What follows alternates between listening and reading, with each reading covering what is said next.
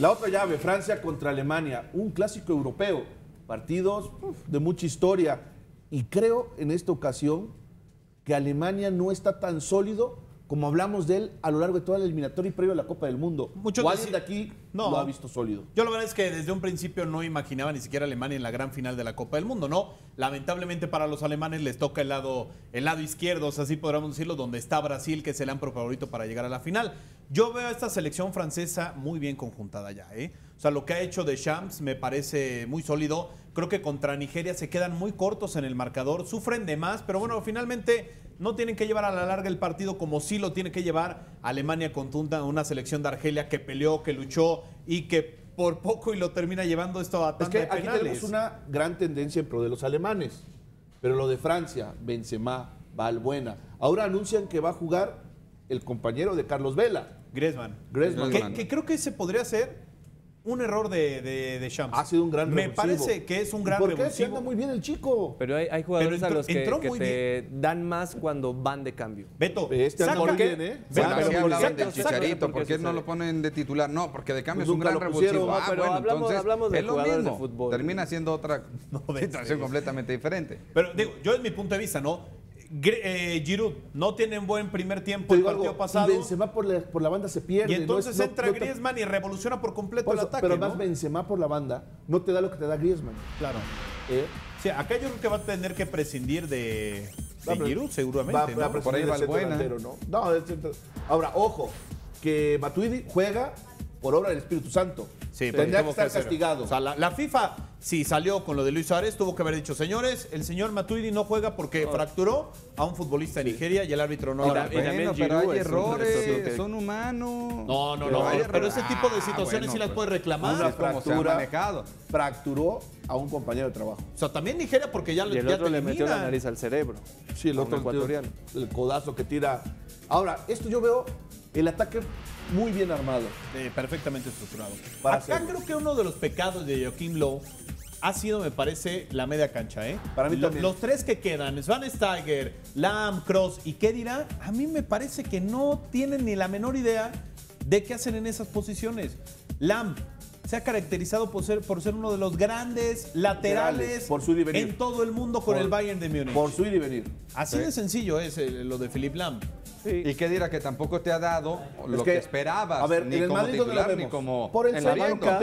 Bueno, en los últimos te la banca. En la banca.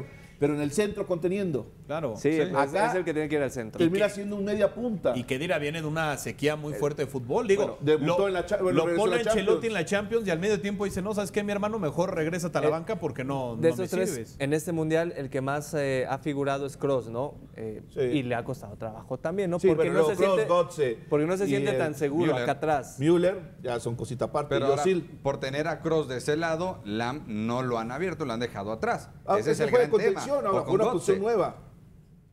Y acá, por ejemplo, lo, lo que ha hecho Matthew Balbuena en esta, en esta eliminatoria ha sido espectacular, ¿no? Porque más allá de que hablemos de que los goles lo hace Benzema, lo hace Giroud, es la banca. impresionante. Sí, Otro claro. que la banca. Y, y con Cabay ahí en la media cancha, eh, la va sobreviviendo muy bien. El chico Pogba arranca la Copa del Mundo, después lo sienta al partido siguiente, lo vuelve a activar para el tercero y ya para el cuarto dice, no, pues vete de inicio. ¿no? No, es un chavo de de 21 inicio. años Pero que bien juega. que bien juega.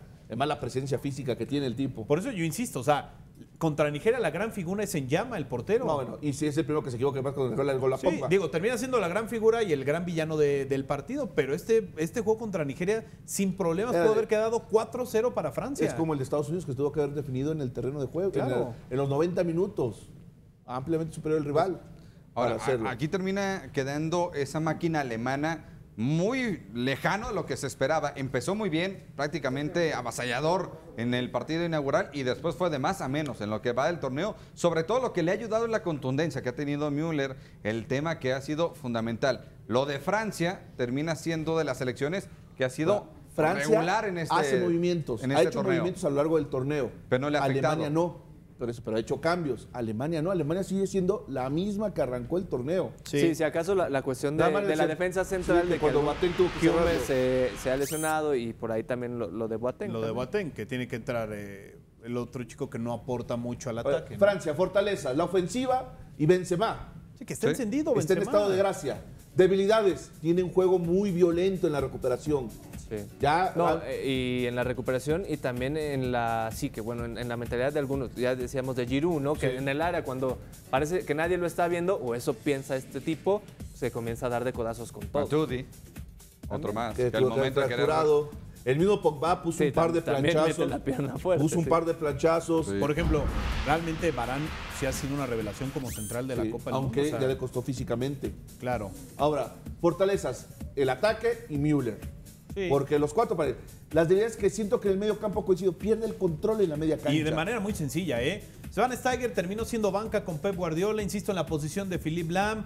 Cross, bueno, pues es un tipo que te da de 10 pases acertados, de 10 pases 9 son acertados, pero la cuestión es que a veces Goetze no ayuda mucho, a veces el propio Siegel, entonces Müller termina siendo por eso la gran figura de esta selección alemana. Ahora, yo creo que si mañana Alemania quede eliminado por Francia, Joaquín Lowe, así como salió Prandelli, así como han salido otros técnicos, tendrá que renunciar ya a la selección alemana, ¿eh? Ahora, pero esta no- no- Porque no es que no le esté dando la generación. El técnico no está sabiendo sacarle lo mejor a esta generación no, y alemana. ya, y ya tiene un proceso importante, ¿no? Ya, no, no es una sí. cuestión de. Son "Ay, dos Copas del estos". Mundo, No, es ya en dos. Eurocopa. O sea, para el cambio. 2016 es, Cambio es la misma historia.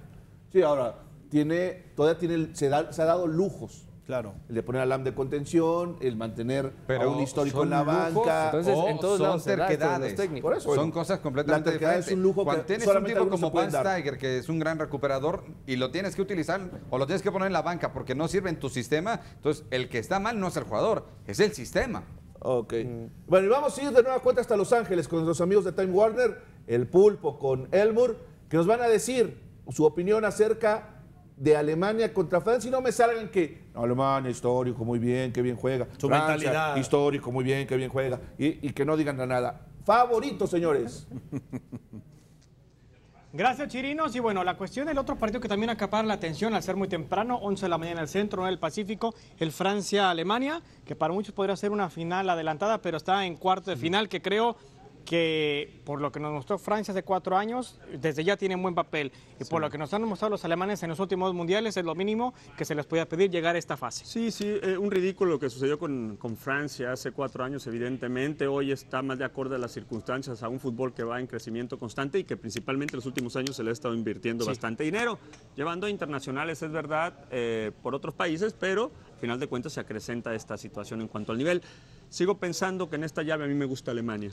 Yo sigo viendo Alemania muy, muy fuerte, aún y cuando tuvo un gran desgaste contra el equipo argelino. Pero me gusta Alemania porque en ningún momento flaqueó. Incluso, si bien es cierto, eh, Steiger termina saliendo del partido por, ca- por cansancio extremo, te percatas cómo la mentalidad los lleva hasta las últimas consecuencias, lo cual no he visto todavía en el equipo francés, o no le ha tocado llegar a estas circunstancias. Yo creo que no le ha tocado. Sí, ¿eh? no Yo- le ha tocado llegar a estas No circunstancias le- precisamente. Porque viendo a Francia, un Benzema que anda bastante bien, Sí. no se ha resentido la no convocatoria de Narri que tanto se había criticado, que el día de Champs no lo había llevado, pero Oliver Giroud, el jugador del Arsenal, es un gran jugador, Matthew Balbuena está jugando a gran nivel y atrás lo que es Ebra con toda la experiencia está apoyando y un Hugo Loris que no ha, no ha desentonado en la, en la Sí. portería. Sí, no, sí creo que en cuestión de- de individualidades me gusta más el equipo alemán. En cuestión colectivo me gusta más el equipo alemán. Tiene más proceso, más trabajo. Físicamente se ve que son unos monstruos y aunque físicamente anduvieran mal, la mentalidad les das para ir y venir durante el tiempo que tú ¿Quién quieras. es más matón, Thomas Müller o Benzema?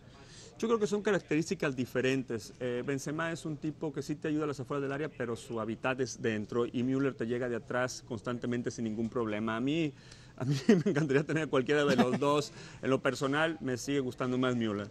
Es ya cuestión de gustos, evidentemente cada quien puede escoger el suyo. A mí en lo personal me gusta más. Es un tipo que me da la impresión te ayuda más desde la recuperación de la pelota, que es otro aspecto que tiene Sí. el equipo alemán.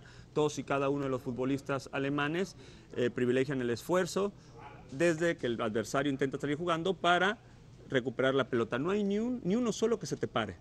¿eh? Eso sí es es más, cierto, eso es cierto. incluso el único que pudiera estar parado es Neuer, Y allá na- atrás, y y, gracias a él Ajá. la defensiva empuja más que normal para que él te cubre como un buen líbero, un buen líbero como se ha mostrado hoy en día. ¿no? Yo siento que ese partido se puede ir hasta las postrimerías, es decir, penales. Tengo esa sensación que se pueda dar tomando en cuenta de la cómo juega cada uno de ellos que se puede complementar. Yo creo que por el estilo de Alemania difícilmente se puede ir este, hasta, hasta, el tema de los penales, ¿no? Yo creo que Alemania tiene algo que nos ha mostrado en este mundial que en los momentos más cruentos no se tira hacia atrás, en los momentos más cruentos va hacia adelante. Y este es el tipo de fútbol que a todos nos, nos agrada, ¿no? Y es por eso que pasó o que tuvo sus pesares, mejor dicho, frente a Argelia, porque en un momento este, Argelia tuvo alguna posibilidad de haberle marcado, pero es el riesgo que corren y bienvenido a ese tipo de fútbol. Me sigo quedando con los alemanes. Va a estar bueno definitivamente el partido. Pulpo, muchísimas gracias. Muchachos, un, un placer como siempre. Como Mientras siempre. tanto, vamos a una pausa y seguimos con más. ¿Dónde más? Aquí, en Brasil Total.